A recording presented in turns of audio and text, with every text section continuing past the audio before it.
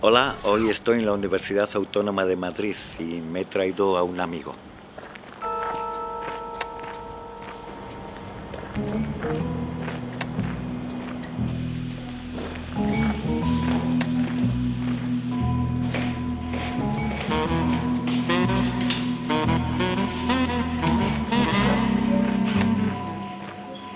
Estamos en los sextos Diálogos del Agua, unas conferencias organizadas por la Fundación de la Universidad Autónoma de Madrid.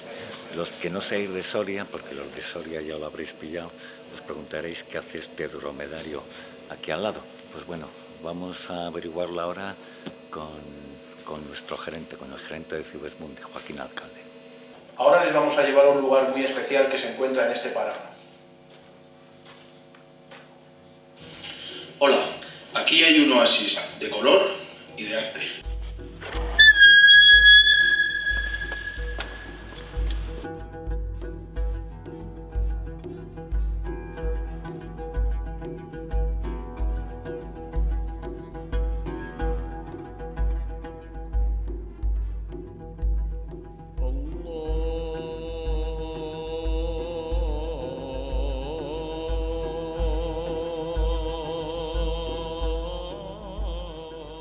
Nos encontramos en la ermita mozárabe de San Baudelio, en el pueblo de Casillas de Berlanga, en Soria, una auténtica joya del arte mozárabe y románico de nuestro país.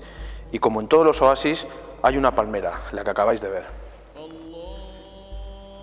No hace falta decir que los oasis son unos ecosistemas que se caracterizan fundamentalmente por la existencia de palmeras y la gestión de los recursos hidrográficos en esas, en esas cuencas, en esas áreas.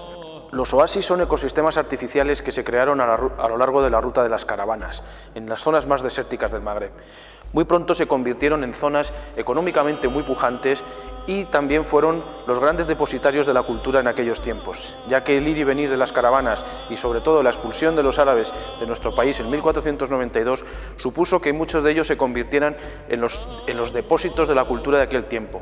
Aún hoy, en la mayor parte de estos lugares existen lo que denominamos las bibliotecas andalusíes, que son las que mantienen el acervo cultural de aquellos antepasados nuestros.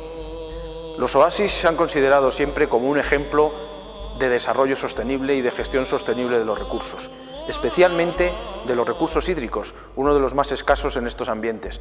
Precisamente sobre los recursos hídricos es sobre lo que trata el trabajo que Cibes Mundi realiza en el Magreb dentro del programa PACO, de acciones concertadas en los oasis. Cibes Mundi trabaja desde el año 2004 en diferentes oasis del Magreb, en Túnez, Marruecos, Argelia y Mauritania, de la mano de financiadores tan importantes como la Agencia Española de Cooperación Internacional, AECIP, el propio Ministerio de Asuntos Exteriores francés y otras administraciones públicas españolas como Agencia Catalana, Diputación de Almería, Universidad Complutense, etc. Realizamos nuestro trabajo en red, en colaboración con organizaciones locales de los cuatro países del Magreb y organizaciones francesas en lo que denominamos el RADO, Red de Ayuda a los Oasis. Especial mención tiene la financiación que Cibes Mundi recibe por parte de la Fundación La Caixa de medio millón de euros para trabajar en algunas áreas de este programa PACO. Trabajamos con La Caixa desde hace tres años en diferentes acciones que les vamos a contar. En Túnez trabajamos en el oasis de Cheniní, en Gabés, en el Golfo de Gabés. Precisamente este oasis es uno de los más peculiares del Magreb, ya que es un oasis de carácter marítimo, está muy cerca del mar, aproximadamente a unos 10-12 kilómetros del mar. En este lugar trabajamos con la organización local ASOC desde hace varios años en la recuperación de semillas autóctonas, de semillas autóctonas del oasis, ¿no? un poco para recuperar la biodiversidad del oasis. Como anécdota contarles que nos hemos encontrado con casos curiosísimos, como ciruelos que solamente existen en China, en algunas partes de Arabia y en este oasis tan peculiar de, de Túnez. Asimismo, también trabajamos en este lugar en la gestión de los recursos hídricos propios del oasis. En Argelia trabajamos en la mítica ciudad de Gardaya, a 700 kilómetros al sur de la capital, de Argel. En Gardaya, también conocida como la Pentápolis, una de las ciudades santas del Islam, trabajamos concretamente en el palmeral de Beni Isgen, con la asociación local APEP, tratando de conservar los recursos vegetales y los recursos hídricos que quedan en aquel palmeral. El palmeral de Beni Isgen fue creado por el pueblo mozabita hace más de mil años y ha conseguido eh, progresar hasta hoy siendo fuente de sustento económico y cultural de todo aquel pueblo. En la actualidad la situación del palmeral de Benisgen es bastante compleja, ya que se han abandonado los usos tradicionales de, de este palmeral y muchos jóvenes han marchado a trabajar a Gardaya abandonando las tareas clásicas. Ya no quedan FELAPs, no quedan prácticamente agricultores clásicos que se dediquen al mantenimiento del oasis y por eso Cibes Mundi está trabajando de la mano de la asociación local APEP para que esto no suceda y se pueda mantener el ecosistema. Concretamente, uno de los problemas más graves que en este momento tiene el palmeral de Benisgain es la colmatación de su Como decía anteriormente, la falta de trabajos tradicionales en la agricultura ha provocado que se colmaten los OWET, nadie se encargue de, sacar los lodos después de la época de lluvias y eso ha, causado que se hayan cegado muchos pozos, muchas cisternas que se construyeron en algunos casos en la Edad Media para poder recargar el acuífero de este ecosistema, de este palmeral. Gracias a la recuperación de muchos de estos pozos y a la limpieza de los OWET, el palmeral de Benisgen pudo salir indemne de las inundaciones que soportó en el año 2008.